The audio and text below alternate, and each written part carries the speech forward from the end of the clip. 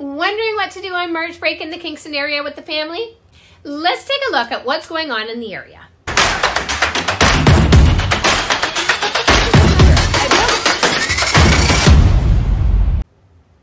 Welcome back to my channel. I'm Kathryn Newman and I'm a real estate agent here in Kingston.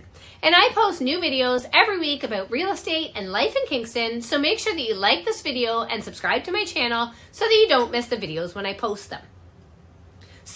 It's March break, and if you didn't sign your kids up for one of the many day camps going on around the city, then you are probably scrambling to figure out how to keep everyone occupied.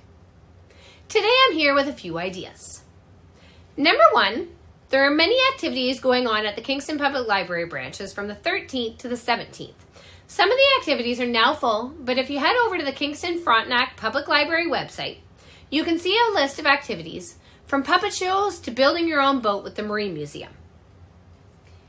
Number two, the Rocking Horse is holding their Lego building competition over March break.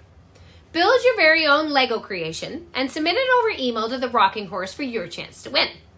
Entries can be, can be submitted until March 19th with the winner announced April 1st. Number three, March of the Museums is happening the week of March break. It is a week long, free, and family friendly festival of museums where you can explore, play, and create. Head over to kingstonmuseums.ca for a list of participating museums. Number four, why don't you let the kids burn off some energy at the fun zone? During March break, they are offering extended hours, and the kids can have fun on the play structure, playing laser tag, or playing one of the many arcade games. Number five, head over to Extreme Trampoline Park, which is always a lot of fun. From the obstacle course to the dodgeball course to the main courts, where jumpers can bounce from wall to wall. Next on the list, number six, is the Boiler Room Climbing Gym. Practice your climbing skills at Kingston's Indoor Rock Climbing Gym. From beginner to Olympian level climbers, this space has different options for all ages and skill levels. Next up, number seven, why don't you head out for a public skate? There are lots of different public skating times around the city during March break, and there is also a free skate on Monday, March 13th from 1 to 2 p.m. at the Leon Center.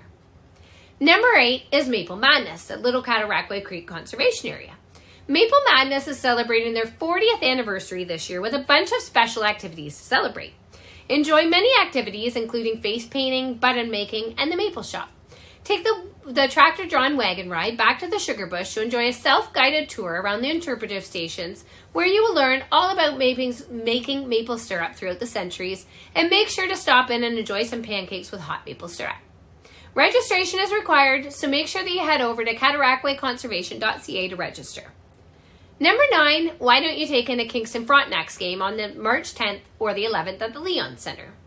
And finally, number 10, you could take in a movie at one of the movie theaters.